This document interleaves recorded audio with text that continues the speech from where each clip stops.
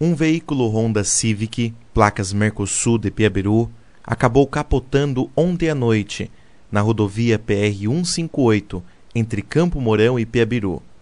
O motorista de 23 anos não ficou ferido e negou atendimento do Corpo de Bombeiros. Fomos informados aí a respeito de um capotamento aqui na saída para Maringá. É, chegamos no local aqui, verificamos, constatamos aqui de fato a ocorrência, porém a vítima apenas com alguns ferimentos leves decorrente aí do cinto. O carro também havia airbag, acabou protegendo bem a, a pessoa, então ele assinou o termo de recusa e a, a equipe retornará ao quartel. Nós podemos perceber que o impacto desse acidente foi um impacto bastante violento, o carro ficou totalmente destruído.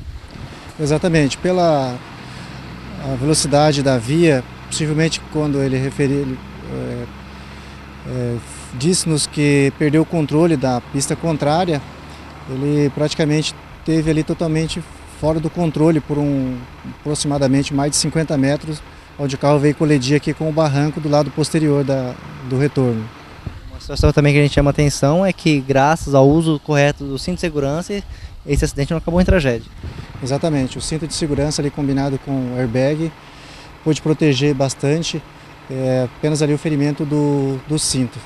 Segundo as informações, ele trafegava sentido Campo Mourão e Piabiru, quando perdeu o controle da direção, invadiu a pista contrária e capotou.